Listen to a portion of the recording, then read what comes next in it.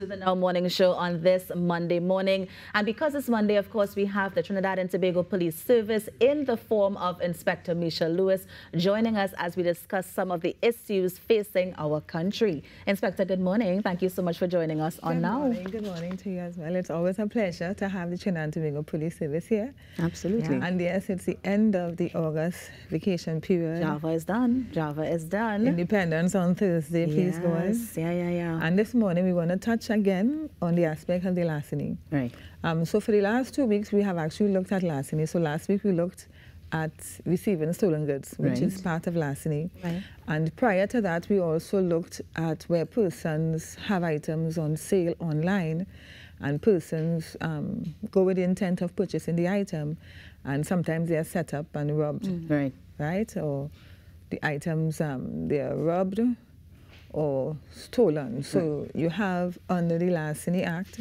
which is Chapter 11 of 12, you have robbery and then you have larceny. The difference between larceny and robbery is really the fear. So a person comes in front of you, two or three persons um, commits the offense, and then there's the fear. Unless, unlike somewhere where someone actually pickpockets you, you didn't see when it happened or snaps, snatches something from you and you didn't realize it happened. So there's no fear. So there's a difference between larceny and robbery. Yeah. Both of them fall under the Larceny Act, Chapter 11 of 12. Of course. So, for example, with motor vehicles, as we mentioned just before we yes, started, right. with motor vehicles, you would have um, larceny motor vehicles and robbery motor vehicles right. under the same act. Robbery would be that you actually buy the vehicle, the mm -hmm. person come point a firearm or do something else, and they steal the vehicle from you. Right. Larceny is you park the vehicle in the night, you went to sleep, you wake up in the morning. No vehicle. The vehicle no vehicle. Gotcha. Now, Inspector, although both falls under the, the same act, mm -hmm. um, are the offences and the consequences, are they the same or different? It will be different. Yeah. So it depends on the severity. So if you use firearms, so with the use of firearm, there comes also offences under that. That mm -hmm. act, right. Under that act, yeah. So um, when the person is um, arrested, there will be offences under so possession of a firearm, mm. possession of firearm and ammunition, right. and that kind and of thing. So it will have or larceny, depending yeah, on the circumstance. It will be combined, yeah. yeah. It will be different offences. So this morning we look at the offence of larceny. So larceny remains the same. Um, the ingredients really is that the intent is to permanently deprive someone of something right. that is capable of being stolen, yeah. right? So it's not like if somebody borrows something from you or something like that. It has to be to really take it from you forever, hmm. right? So hmm. we know that at the end of the vacation here, we have parents, um, persons going out to buy last minute shopping for school items, uniforms and that kind of thing. You have persons who doing the last minute outing with their family and their mm -hmm. friends. July, um, August holiday finished and now getting paid, so we want to do something right. before you go back out to school. And then you have the Independence Day parade, the 61st anniversary celebration.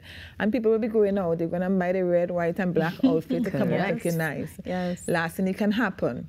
You have the pickpocketers, you have the grabbers, you have the snatchers. So we want persons to be mindful that even as you go out there to conduct your normal business and to enjoy your everyday living, to be very concerned and be very vigilant of the surroundings that you're in. Absolutely. For an offense to take place, it must have three ingredients, which is um, a victim, a perpetrator, and an opportunity.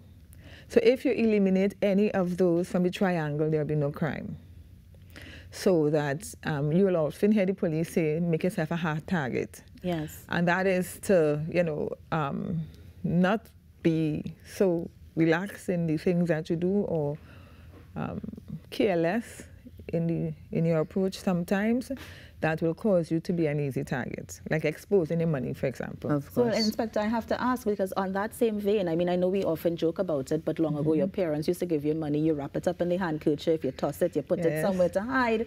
I mean, but now we're more modern. Some people are going with the, with the cards, but mm -hmm. they can mm-hmm. still get robbed at the mm -hmm. ATM.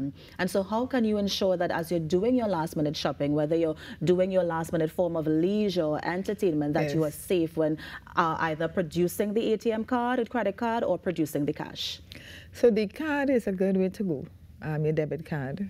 Um, it's less likely Um, whereas with a credit, yes, a lot of online, international, and stuff like that. Not right. that both of them um, offences won't take place, they do. Right. Um, less of two evils. less, yes. so where you have, for example, um, a lot, and a lot of places now have the machines, even to do your hair and your nails, or a barber shop, you will get them having the portable machines for not just the customer safety, but, but for their well. safety as well. Mm -hmm. So you can use your um, electronic means of payment, with whichever you prefer, to have less cash in your hand. Of course, sometimes when you go to purchase something, you'll have cash, but have it separated so that um, you wouldn't have like $500 sack away and then you, you know, you pull out a wad to show off that you had a whole, have, have a whole set of money.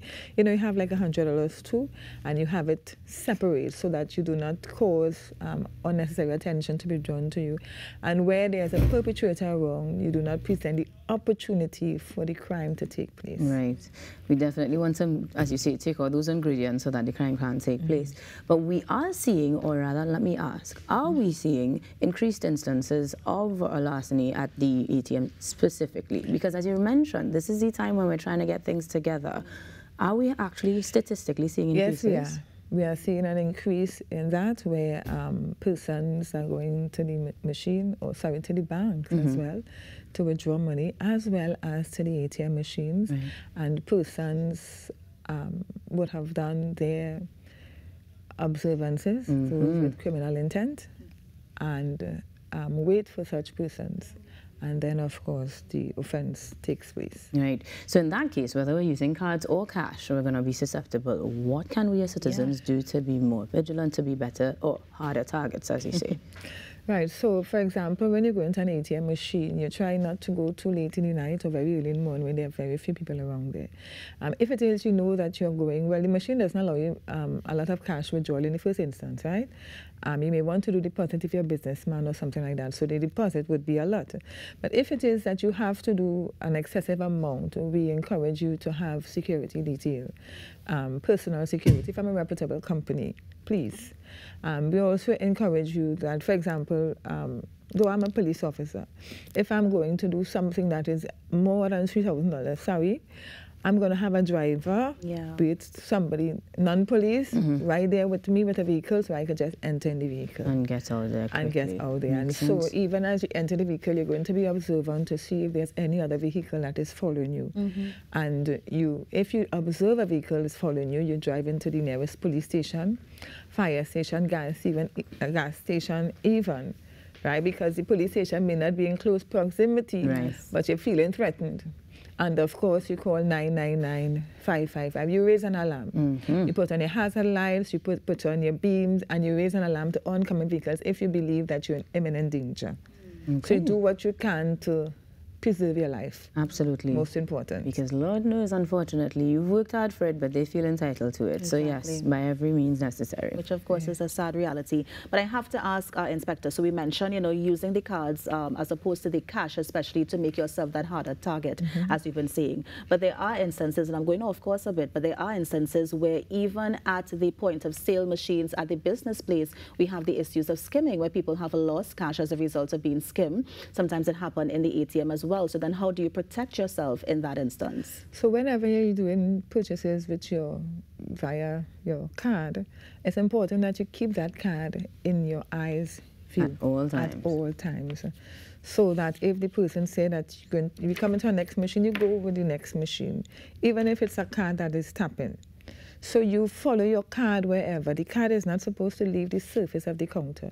Observe to see if the person has um, any, well, you, you, may not know because sometimes a device can be in the pocket and they're not And they're right? not sure, yes. Right, but where, for example, you did not do a legitimate purchase, you can query it with the bank and the bank will do their investigations and treat it accordingly.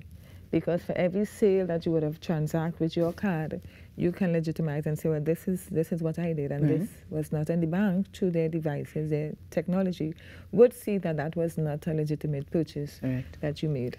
Yeah. So you can take that up with the with the um, financial institutions. So we have a lot that we can explore in the last mm -hmm. I feel like it may be a topic we'll explore at another date. But in terms of those tips that we want to make sure uh, citizens explore, we certainly want to remove the ingredients for yes. that crime to happen. So making yourself a hard target mm -hmm. is mm-hmm. key.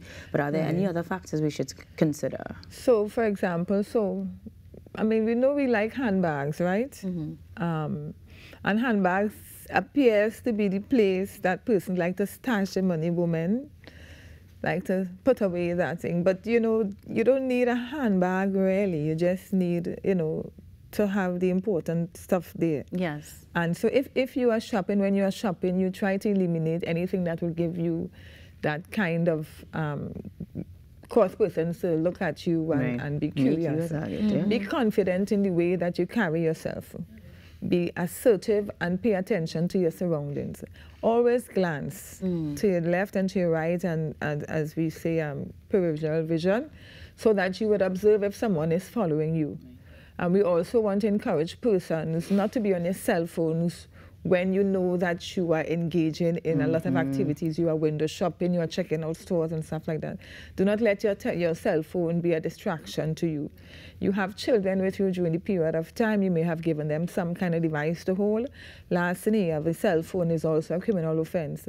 Keep that cell phone away from that child when you are out in public let that child put away that cell phone. Even the child is 16 and they can handle it, the child can still be a victim of an offense. Right. What the TTPS want to do is to eliminate the opportunities where crime can be committed. And so we have a reduction in the statistics and the effects of crime. Of course. Because the data is one thing, but when a criminal offense happens, it really affects the individuals Absolutely. really, really bad. The There's a fear that comes in there yeah. that it takes some counseling and some real to get you back in a place of comfort to mm -hmm. want to go out. So it's not just the criminal aspect that we look at in terms of the act, but also the emotional um, trauma that the person experienced. So where you have larceny, even though um, you may not have been put in immediate fear, the fact that somebody would have taken this away from you, it's a large set of money, you mm, know, yeah. it, it, affects you. Absolutely. Inspector, one more question before we go. Uh, are there certain periods of the year where we will see increase in larceny, increase in robbery, as opposed to others? Um, usually whenever we have um, holidays, holidays, as well as when you have certain big ticket concerts in the country. Mm.